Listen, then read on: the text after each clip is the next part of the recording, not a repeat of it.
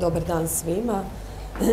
Mi smo danas održali jedan malo duži sastanak e, sa e, gospođama iz udruge, prvenstveno iz udruge Sjena, koje su nam se i prve obratile, prostite, e, i razgovarali smo o svim izazovima s kojima se oni susreću kao roditelji djece s teškoćama u razvoju. Naravno da smo otvorili niz pitanja koje roditelje muče u ovom trenutku, to su uglavnom međuresorna pitanja, nisu samo pitanja iz jednog resora, nisu pitanja samo iz djelokruga Središnjeg državnog ureda za demografiju i mlade, već smo otvorili pitanje i po pitanju zdravstvenog sustava, obrazovanja te same socijalne skrbi. Ono što iz ovog sastanka je proizašlo da je vrlo jasno da smo i kao vlada otvoreni za ovu inicijativu koju su oni pokrenuli, ali isto tako i za niz drugih, rješavanje niz drugih pitanja iz djelokruga e, raznih drugih e, ministarstava. Načelno smo se dogovorili da doista moramo o ovome otvorenije razgovarati i sjesti za isti stol, ne samo mi kao vladin ured i predstavnici udruga, već e, i jedan veći broj resora. Ono što evo, znamo sada da ćemo vrlo brzo kroz neka dva tjedna e, imati zajednički sastanak. Dobro, e, što je onda dogovoreno? E, premijer je obećao veću naknadu, kada i koliko veću naknadu? Tako je, razgovaralo se i o naknadi, u ovom trenutku govorimo samo o jednoj maloj uskoj naknadi koja se odnosi na dopust roditelja djece sa teškim smetnjama u razvoju do osme godine života. E, znate da je inicijativa bila da se naknada sa sadašnjih 2300 kuna povećava na 4000 e, kuna. E, no, kroz razgovor smo otvorili niz drugih tema koje, su, koje se nastavljaju u stvari na ovu naknadu i usluge koje prate samu naknadu. Ono što vjerovatno znate da u ovom trenutku se zakon o rodinim i roditeljskim potporama usklađuje sa direktivom kojom se usklađuje obiteljski i poslovni život, a sam zakon o rodiljnim i roditeljskim potporama uh, ide uh, u, imat će reformski karakter u stvari i ide uh, u cjelovitu izmjenu. Dobro, kada onda one mogu očekivati? Mi planiramo da ćemo sa sljedećim, sa prvim prvim sljedeće godine stupiti na snagu novi zakon. Dobro, zašto niste ranije primili um, dakle, predstavnice udruge Sijena? Znamo da su vam pisali. Evo, ja mogu reći e, da može to biti naš propust e, ako nismo prepoznali u prvom trenutku njihov mail e, kao ured, ali ono što smo mi sigurno dobili, dobili smo neposredno prije saborskog odbora. Jeste ali na... pričali zbog toga? Naravno.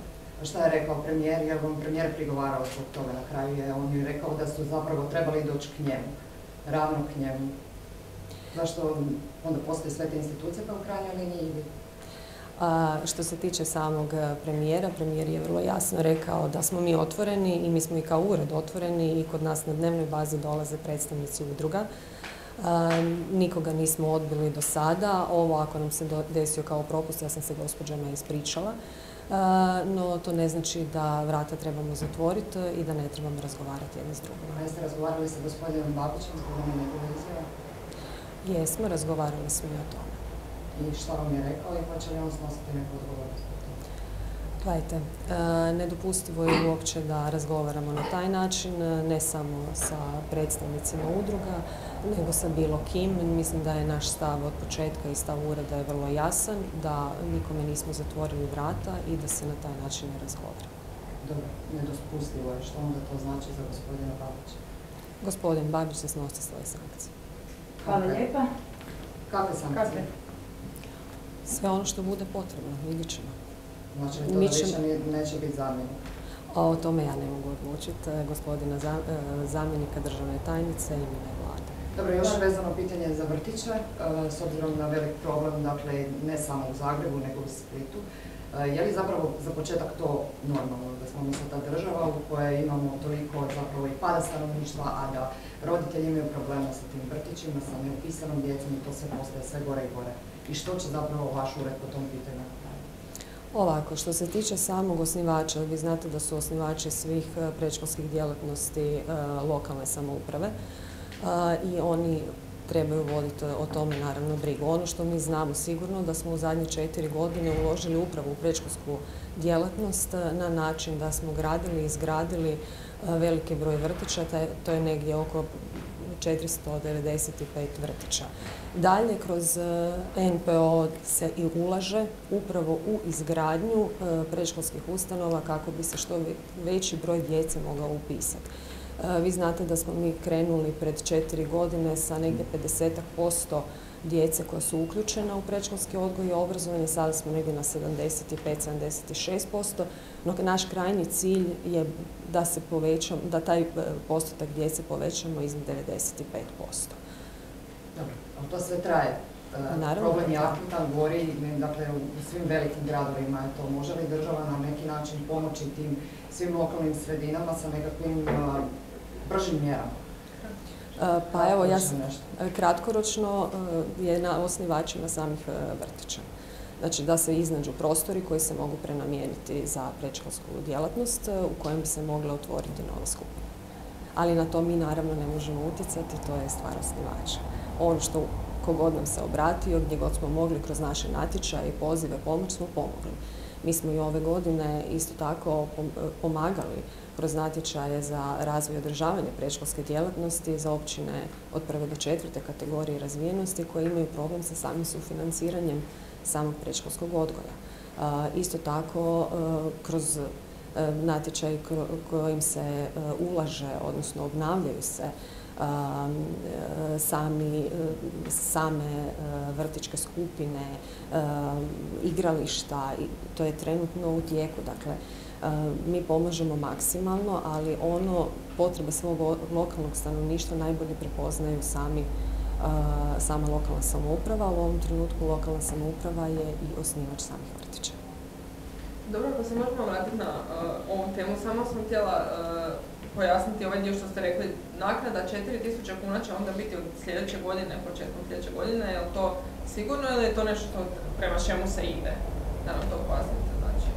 Ovako, ja mislim da do sada sve ono što smo zacrtali smo u stvari i napravili, ono što smo obećali smo E, do sada i ostvarili. Tako da ja ne bih razgovarala na tome, e, o tome e, da je to nešto o čemu se razmišlja, nego bi razgovarala o tome da je to stvar naše potrebe i potrebe samog skupine.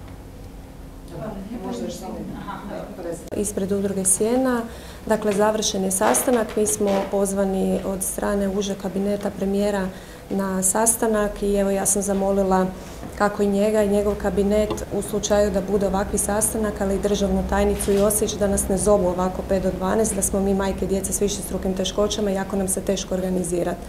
Ono što smo dobili je e, e, razumijevanje od premijera za naše probleme. E, sad držimo ga za riječ da je ono što, što je dao pod zadatak i državnom tajniku u Ministarstvu financija i državnoj tajnici u Uredu za demografiju, da će se to tako i napraviti. Znači očekujemo poziv od ureda koji će osnovati povjerenstvo o kojima ćemo razgovarati e, o našim zahtjevima i problemima koje opet ponavljam mislim da nisu prezahtjevni i vrlo smo plastičnim e, načinom objasnili e, i premijeru ali i državnim tajnicima znači što znači živjeti s djecom s teškoćama i što znači živjeti od naknade od, koji trenutno iznosi 2328 kuna. Ja moram reći da je gospodin državni tajnik iz Ministarstva financija rekao da nije sve u novcu, znači novac će se iznaći, e sad kad ja vam to ne mogu konkretno reći, mi e, ćemo sigurno pomno pratiti i držat ćemo za riječ i premijera, ali i državne tajnike da će to biti što skorije.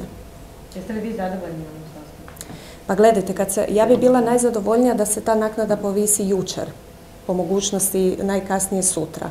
No, e, e, zakon je u javnoj raspravi, zakon je o rodiljnim i roditeljskim potporama je u nekakvoj proceduri. Trenutno po odgovoru državne tajnice on se sad ne može nešto previše korigirati, ali evo ja očekujem znači da se meni je žao kao majci da se ovo pitanje nije uzelo u obzir i to je najviše što me smeta. Znači ako dižemo rodiljne i roditeljske naknade onda ne možemo zaboraviti ovu populaciju koja živi već više od 10 godina na proračunskoj osnovici od 3328 kuna. Znači ne možemo ih zaboraviti, to je velik propust izvršne vlasti. E sad, naravno da, da bi bila zadovoljna da je se problem riješio danas i da možemo reći roditeljima od sutra ćete dobiti naknadu od 4000 kuna i moći ćete osigurati djeci nekakav dostojanstveniji život. Ali evo, pratit ćemo pomno, tu smo, otvoreni smo za dijalog i ko udruga i ko roditelji i nadam se, što sam rekla i državnoj tajnici, da i ovo pitanje neće završiti kao i pitanje zakona o socijalnoj skrbi na koji smo čekali pet godina.